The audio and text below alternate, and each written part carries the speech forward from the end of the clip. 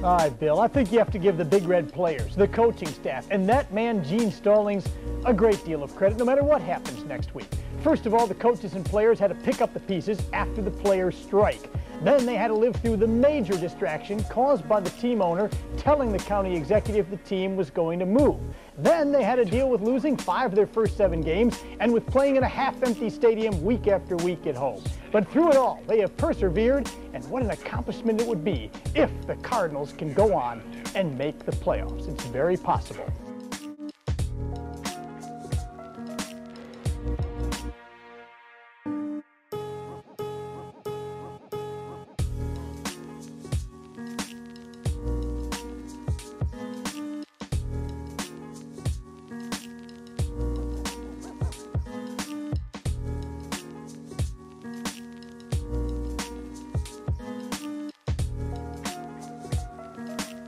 Uh, we applied uh, to the National Football League today to transfer the Cardinal franchise to Phoenix, Arizona.